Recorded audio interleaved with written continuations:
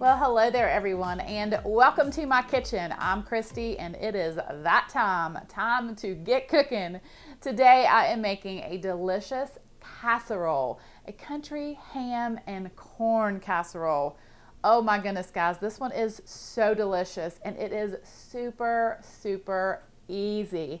It's also a perfect recipe if you have some leftover ham. It's a great way to use that up.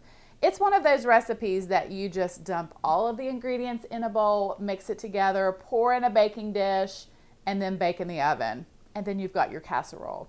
Now, I have been kind of doing a raid through all of my recipes, trying to come up with some new ones for you guys. And I came across this one and I'm excited to share it with you. Let me go over these ingredients with you and show you just how to make it.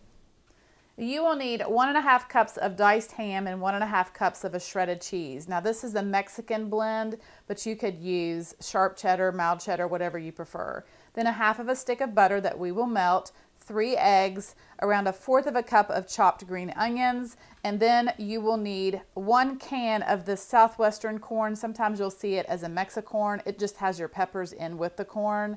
And then you'll need a can of cream corn, and then you will need a box of your favorite uh, cornbread mix, and that can be any, any kind that you want.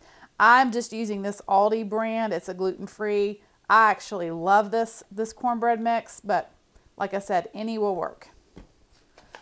So I've got a large mixing bowl here, and like I said, guys, I am literally going to dump all these ingredients into this bowl, starting with my cornbread mix. I'm going to add my cream corn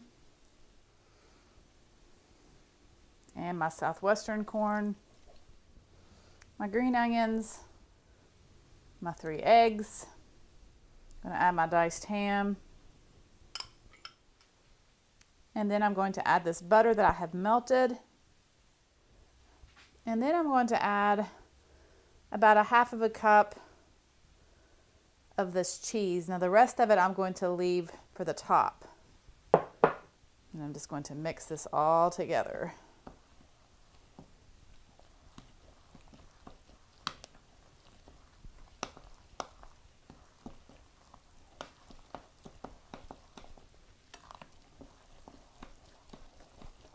So my baking dish is around a 7 by 11, so it's a little bit smaller than a 9 by 13. I am going to spray it with some nonstick spray. Then I'm going to pour my corn mixture into my baking dish.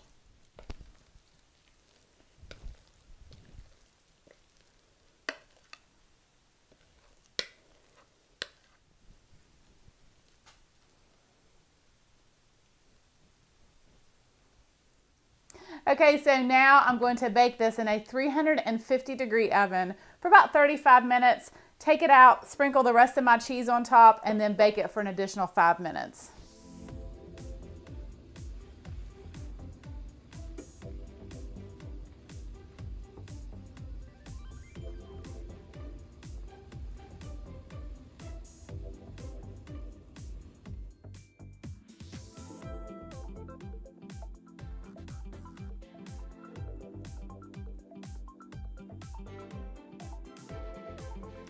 Check this out. Oh, yeah. Mm. Delicious.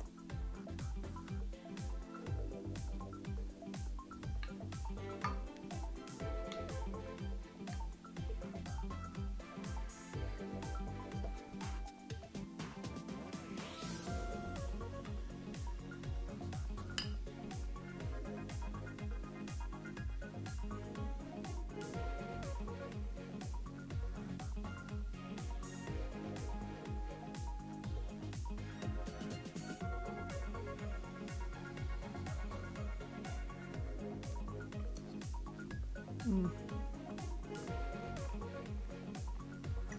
Wow.